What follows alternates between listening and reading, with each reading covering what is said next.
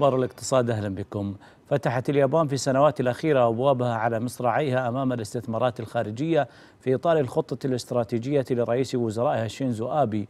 ما يعد فرصة واعدة أمام الاستثمارات السعودية في ضوء رؤية 2030 زاد الانفتاح الياباني بصورة كبيرة على السوق العالمية بعد إعلان رئيس وزرائها شينزو آبي عن استراتيجيته الاقتصادية المعروفة باسم أبينومكس وإحدى ركائز هذه الاستراتيجية تتمثل في استقطاب الاستثمارات الخارجية وتمهيد الطريق للشركات الأجنبية للاستثمار فيها عن طريق تخفيف القيود والإعفاءات الضريبية وتسهيلات أخرى.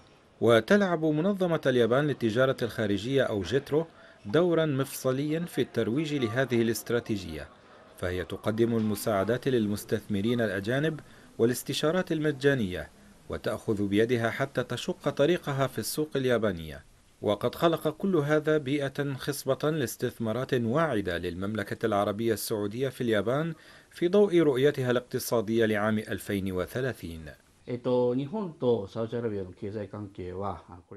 أعتقد أننا مقبلون على عهد جديد من العلاقات الاقتصادية بين اليابان والسعودية. ففي سبتمبر من العام الماضي قام ولي ولي العهد السعودي بزيارة اليابان ونقل رؤية بلاده لعام 2030 وقد عاهد رئيس الوزراء الياباني ببذل الجهود في التعاون الثنائي من أجل نقل التجربة اليابانية إلى السعودية للمساهمة في المزيد من الازدهار الاقتصادي وتحقيق الرؤية. وتعهدت منظمة جيترو بتحقيق مصلحة البلدين في عدة مجالات كالبيئة والطاقة وتقنية المعلومات والاتصالات. ولذلك قامت جيترو بعقد ندوات والمحاضرات لرجال الأعمال لتعريفهم وإطلاعهم على بيئة الاستثمارات في اليابان. وتوفر منظمة اليابان للتجارة الخارجية بيئة رفيقة بالأعمال حيث تقدم للشركات الأجنبية التي ترغب في دخول السوق اليابانية مكاتب مجانية لمدة خمسين يوم عمل مجهزة بكافة المستلزمات الإدارية.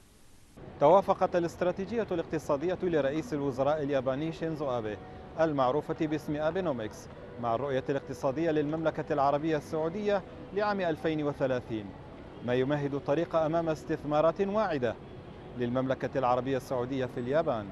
هشام الرجباني لقناة الإخبارية طوكيو. إجراء دراسة جدوى هذا العام لبناء مصنع في المملكة كما تبحث استيراد معظم المكونات التي يحتاجها المصنع والذي سيقام في المملكة من كل من تركيا ومصر وكذلك من اليابان. وافق مجلس هيئة الاتصالات وتقنية المعلومات على ترسية المشروع الأول للنطاق العريض اللاسلكي عالي السرعة للمناطق النائية في المملكة.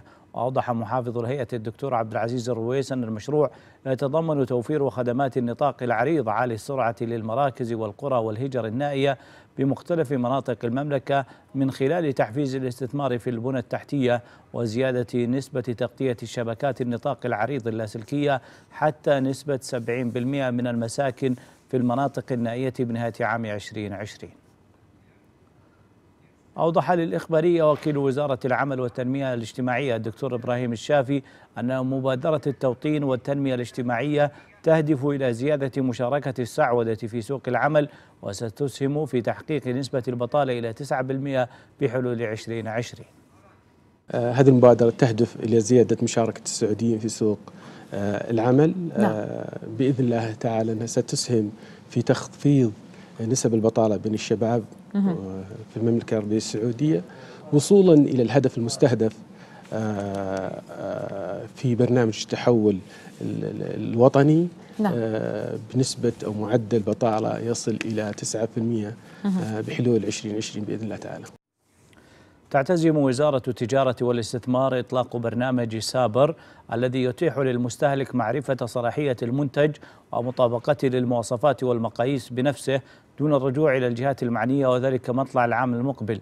وأوضح نائب محافظ الهيئة العامة للمواصفات والمقاييس والجودة المهندس سعود العسكر حسب ما وردت صحيفة الاقتصادية أن البرنامج سيكون من خلال تطبيق سيحمل عبر هاتف المستهلك ويتيح للمشتري معرفة مطابقة المنتج للمواصفات والمقاييس والجودة. وفي جانب آخر قالت الوزارة إنه سيتم إخلاء المؤسسات والشركات والمحال التجارية والمستودعات الواقعة ضمن نطاق الأحياء السكنية بالرياض وذلك ابتداء من اليوم.